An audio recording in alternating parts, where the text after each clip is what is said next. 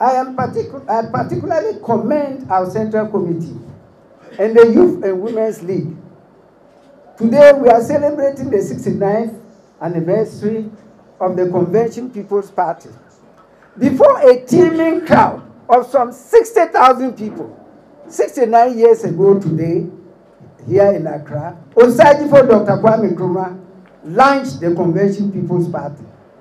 Those so gathered on that fateful day were expressive of the prevailing mood of the country, and especially of the youth, that Nkrumah should break away from the Uni United Gold Coast Convention, UGCC, and form a party which would unite the country in a single voice to demand self-government now through the non-violent program of positive action.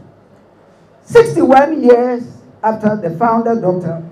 Kwame Nkrumah, led this country into victory, an independent nation with a right to determine her own destiny, the challenge of living up to his vision and expectations remains uncovered.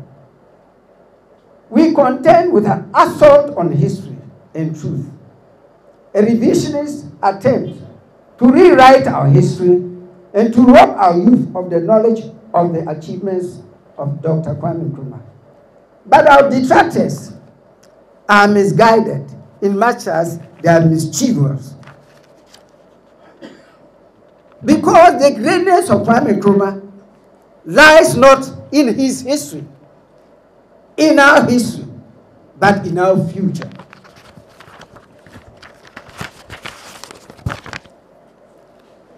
Because Kwame Nkrumah inspires us to build a party and a country to transform us from the nadir of hopelessness into the shining black star of Africa.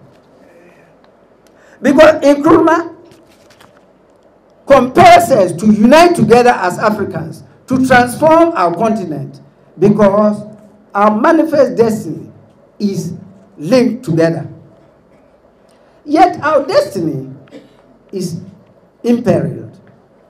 We contend with an assault on the integrity and the values of our nation.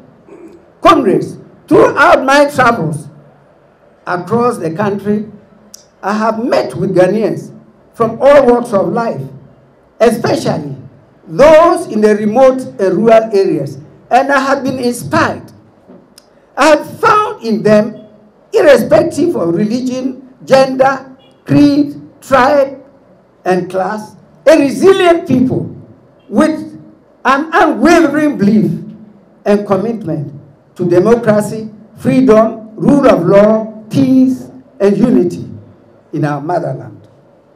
But I also found in them a people disappointed and disillusioned, a people tired of political rhetoric and isn't and it isn't matched with reality. A people disenchanted with the state of our nation. A people fed up with a healthcare system that cannot save a 70-year-old man because there are no beds in our hospitals. A people angry at the international disgrace and shame that has befallen our great nation because of scandals upon scandals upon scandals, of corruption with no consequence.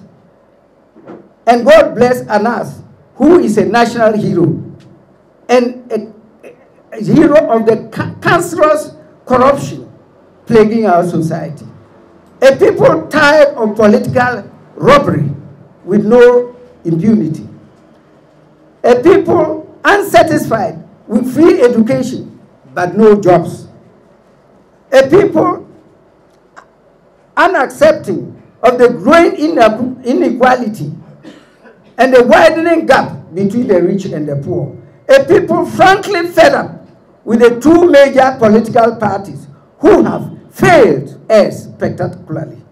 Our people are losing confidence in our judiciary, in our leaders, across the political spectrum, and in our political institutions. we find ourselves in an abyss with no clear moral compass guiding us out of the labyrinth of graft and corruption.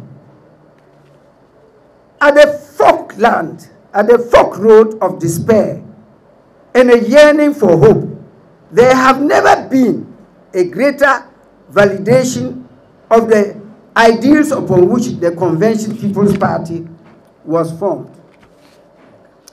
There has never been a greater moment in our history where the need for a third party, where the need for an alternative to the two-party system entrenched with entrenched corruption and failed leadership, where the need for restoration of our dignity and our values and our purpose, and it has so shined brilliantly, illuminating the darkness of our despair.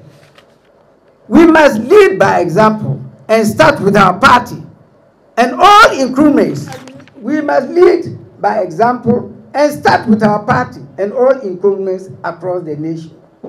On the 69th anniversary of the founding of the party that liberated Ghana from the shackles of colonial subjugation, I call on all incumbents to come for a new challenge to liberate Ghana once again.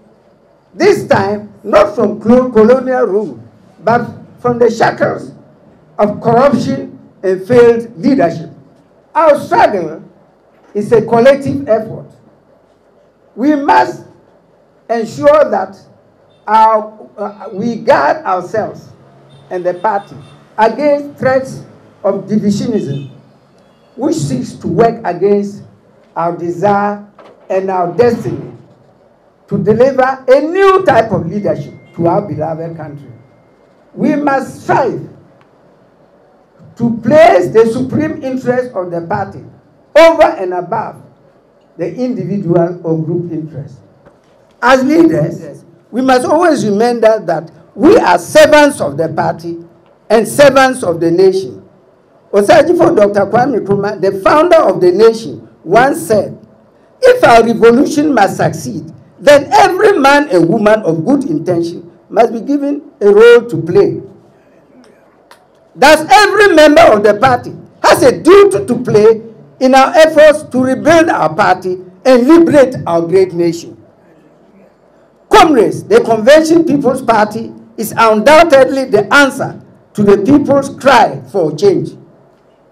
It is a party tied to the people of Ghana and our aspirations for a better and a more promising life. The CPP must continue to be the vanguard of the realization of the collective dreams of our people. It is our duty as a party of national liberation to rise up to this time and to, and, and to this unique moment in the history of our country to capture political power and restore Ghana's greatness. In the words of our, of our founder, Osagyefo Dr. Kwame Nkrumah, comrades, the task ahead is great indeed, and heavy is the responsibility. And yet, it is a noble and a glorious challenge. A challenge which calls for the courage to dream, the courage to believe, the courage to dare, and the courage to do, the courage to envision, and the courage to fight, the courage to work, the courage to achieve, to achieve the highest excellence and the fullest greatness of man and woman. Dare we ask for more? Comrades, countrymen and women, there has never been a task greater than the salvation of the soul of our country and the restoration of our dignity. Let's get to work. Forward ever, backward never.